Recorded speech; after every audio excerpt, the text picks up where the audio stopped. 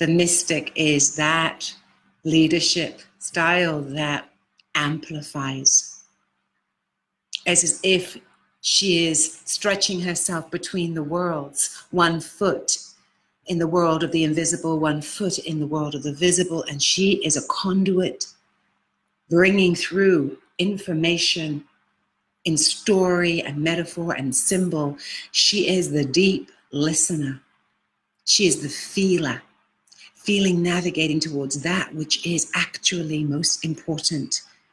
She is the one who hears beyond the words, sees beyond the image, feels beyond the concrete. She has all of her senses awake.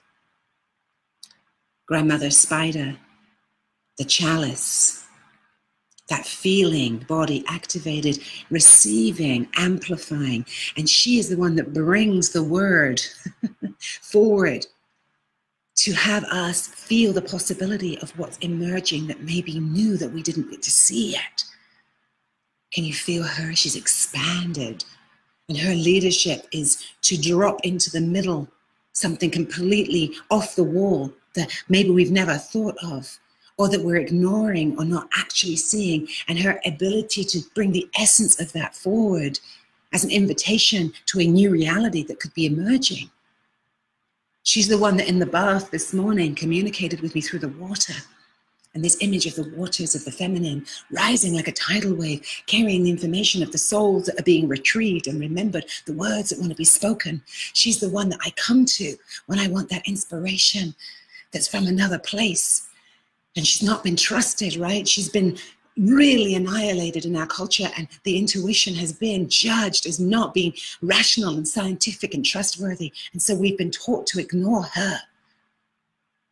But she's the one who doesn't care. She knows the power of the in between worlds.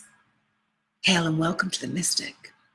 I want you to feel that capacity that you have to read the synchronicities, to feel through your body beyond the appearance of things to the story, the bigger story, the possibility. And I can feel everything in my body waking up when I come into contact with her because she is, in some ways, the trendsetter. She is the one who is so far beyond where we are right now but she's feeding it back to us in words and images and ways that we can we can sense through our bodies. And we need her really badly in our culture. We need her to be advising. We need her to be speaking to those who hold positions of quote unquote power. We need her to be speaking to everyone about what she sees and inviting in the possibility. And the rain keeps coming down. Thank you, Mother.